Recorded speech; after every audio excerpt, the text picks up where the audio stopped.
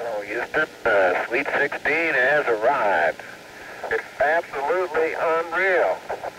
I first became interested in space when I was in elementary school, and I happened to get a Buck Rogers comic book, which I found very interesting. That was long before the space was a reality. And I used to read this comic book uh, from time to time. I used to come to school with it inside of my book, and the teacher would say, That's not what you're supposed to be reading.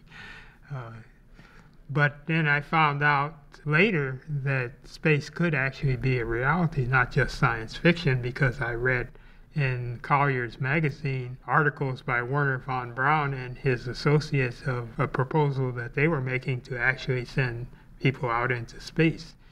And that's when I really got interested in the space program because that was something that I might be able to be involved in when I became an adult.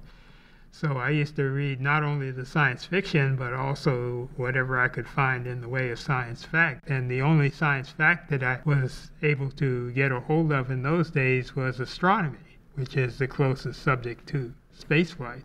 So I became very interested in astronomy. Astronomers and aerospace engineers are not that close to each other.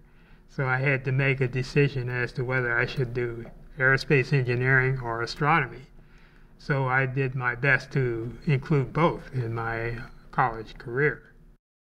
Well, one of the things about the Naval Research Laboratory is that it has a broad field of science and technology research activities and allows us to have the benefit of involvement in discovery, research, as well as actually building instruments and designing instruments.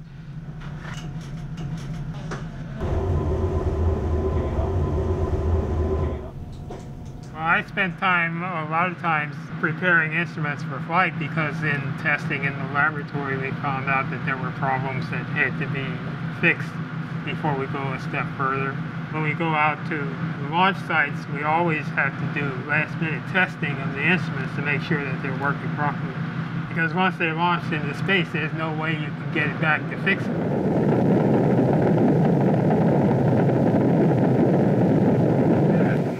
The heat flow. Pull it off. Navy salute. Off the ground. There we go the far UV camera experiment that went to the moon on the Apollo mission we felt was going to be a great step forward in studying in the ultraviolet wavelength range of the spectrum, which the eye cannot see and which cannot penetrate through the Earth's atmosphere. Therefore, uh, going out into space allows us to observe not only distant stars and planets in ultraviolet light, which you can't observe from the Earth, but also observe the Earth's upper atmosphere for the first time uh, in ultraviolet light. What drives me today is that there are many spaceflight missions still being planned, new projects to work on. Education and outreach is an important topic because of the fact that the students today will be the scientists and engineers of tomorrow.